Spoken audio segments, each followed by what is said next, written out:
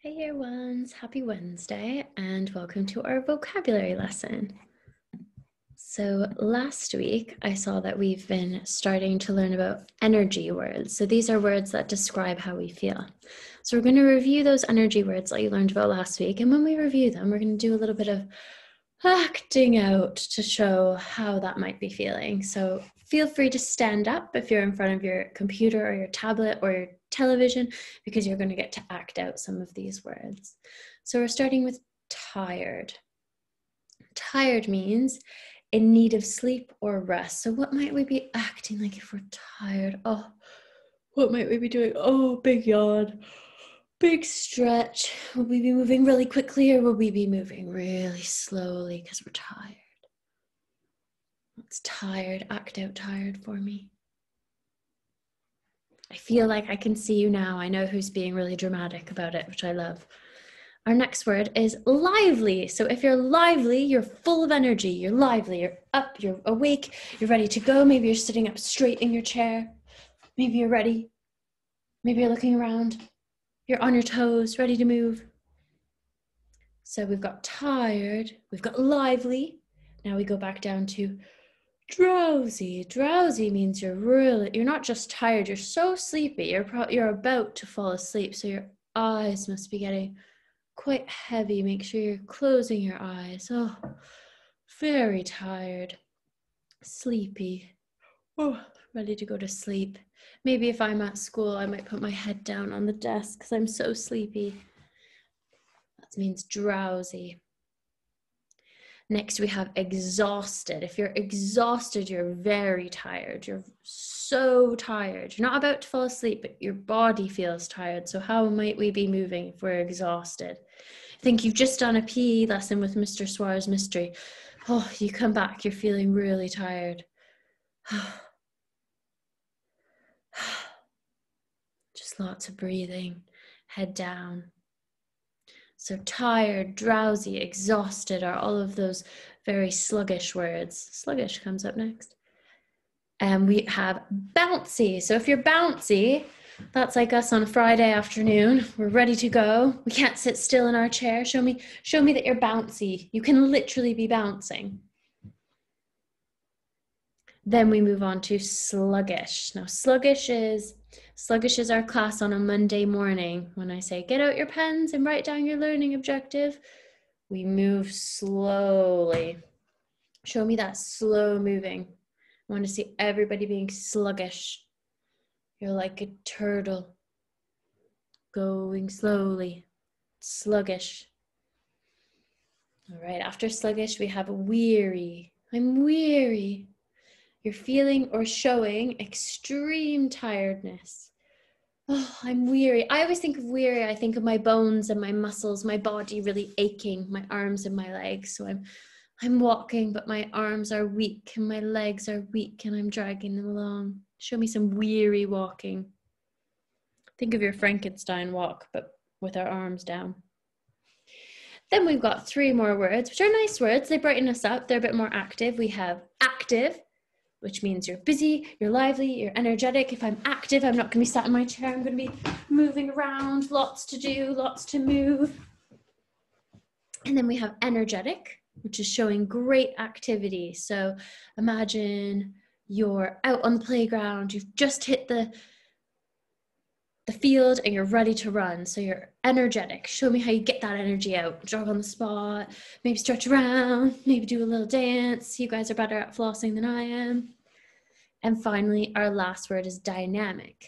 So we have, if you're dynamic, you're full of energy and new ideas. Oh, you have new ideas. What do we do if we want to share an idea? Oh, oh, oh, dynamic. Think you know the answer and you're on the edge of your seat and you want to share it with the teacher. Oh, pick me, pick me that's dynamic. We've got lots of new ideas to share. So we've got energy words that tell us that that show that we're having really high energy, like lively and bouncy and active. And we have energy words that show us that we're really low energy, like drowsy and exhausted and weary. And today we're going to put some of those energy words to use.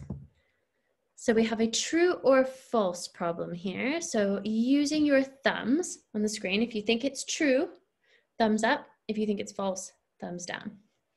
So I hop and skip about when I'm drowsy. Think about what we said drowsy means. I hop and skip about when I'm drowsy. Thumbs up or thumbs down? Have a think. If you said thumbs down, well done. We wouldn't be hopping and skipping about because to hop and skip about, we have some energy. The sprinter was exhausted after the race. The sprinter, that's a runner, was exhausted after the race. So think about that sentence and what it's telling us. What do you think? Is it true or false? It's absolutely true. So if we've ran a big race, we're probably going to be feeling very, very tired after that race. And we said exhausted means very, very tired. Number three, I am weary after a long walk over the hills. I am weary after a long walk over the hills. What do you think? Give you a bit of a clue from before. We said weary. Remember, we thought about our our muscles and our body parts kind of aching or being really tired. So if you go for a long walk over a hill, do you think your arms, legs might be a bit tired?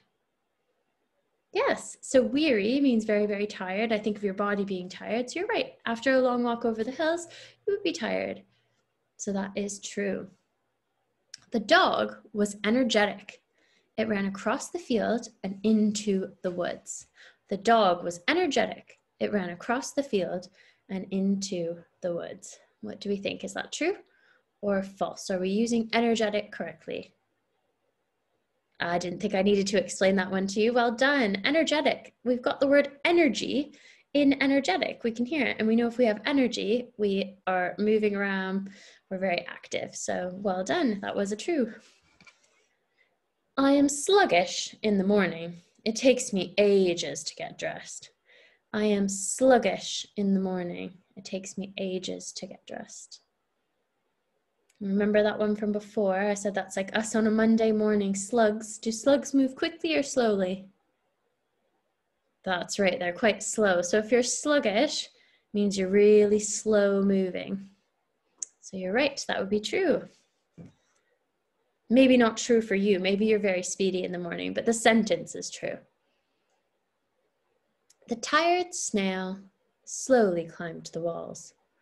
The tired snail slowly climbed the wall. So how think, picture that. We've got a snail. What's he doing? We've talked about sentences this week. So our noun is the snail. What's he doing? He's climbing up the wall. Is he going to be going, if, if he's tired, is he going to be moving slowly or quickly? That's right, he'll probably be moving slowly. So if you said that sentence was true, another well done. And finally, we have the lively boy fell asleep on his bed. The lively boy fell asleep on his bed. Do you think thumbs up if it's true, thumbs down if it's false? Does it make sense to use that word? The lively boy fell asleep on his bed. If you said thumbs down, well done. If he's lively, that means he has lots of energy. And when we have lots of energy, are we ready to go to bed? Not quite.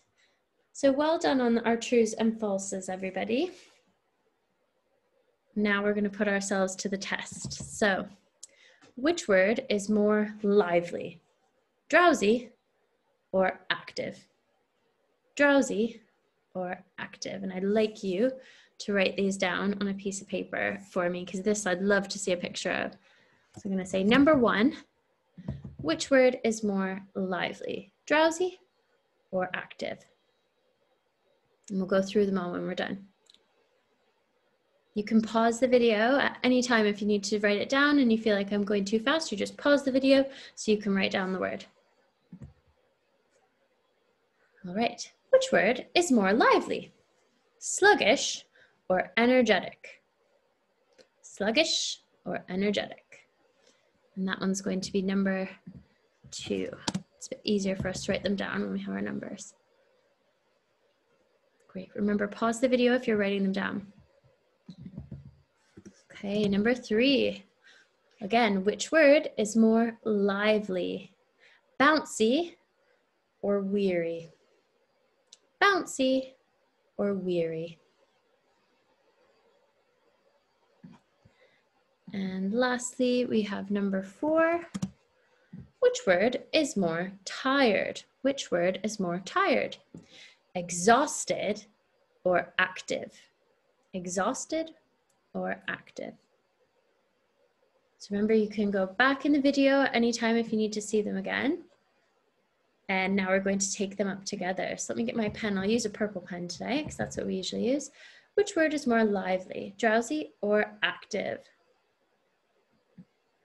That's right, active is more lively. Drowsy means very, very tired, almost asleep.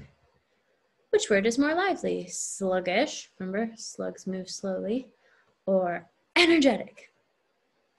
That's right, year one, energetic. We know all about energetic in year one. We've got that. Which word is more lively? Bouncy or weary? I always think of Tigger when I think of bouncy, Tigger from Winnie the Pooh, because he's always bouncing. So I would say you could describe him as a very bouncy character. So Tigger is very lively. He is bouncy. Remember, weary is like when we said you were going over the hills, your, your bones ache, your muscles ache, you're very tired. And finally, which word is more tired? That's the key word we want to be looking for. Which word is more tired? Is it exhausted or active? And that's right, it's exhausted. So give yourself a tick for the answers if, if you got them right. And if you didn't remember, use a different color pencil or pen to fix any mistakes that you made and it will help you to remember for next time. So fantastic work on your vocab today, everybody. Really, really proud and pleased with you. And I had quite I thought that was quite fun acting it out. Hopefully, you acted it out. And if you can film any of your acting out and send it in, that would be amazing and we would love to see it because that's something we really miss is getting to see all of your acting out and all your drama when we're doing our storytelling and our vocabulary so i can't wait to see what you produce and i will see you later bye